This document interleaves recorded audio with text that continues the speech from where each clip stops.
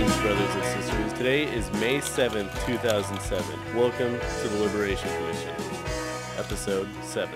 One, two, three, four. My name is Michael Fluchet. I'm Flu. I'm here with Austin this week, filling in for Anton. What it is. We're leaving for London on June 7th, which is one month from today. We're leaving in a month. We're leaving in a month. We're leaving in one month from today. One month from today, we're out of here. Four of us going. Me, Anton, Kelly, and Curtis, who you met two episodes ago. Curtis still hasn't gotten his passport.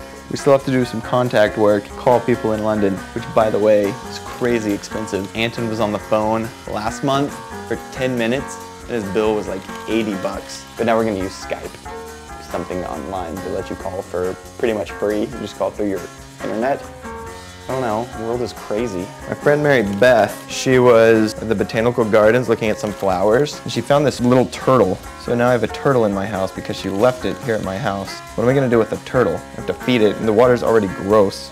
What should we do for episode 7? May 7th, episode 7. Episode 7 on the 7th. We should have some type of celebratory musical ensemble, maybe a video, maybe cooperative dancing, maybe Weezer.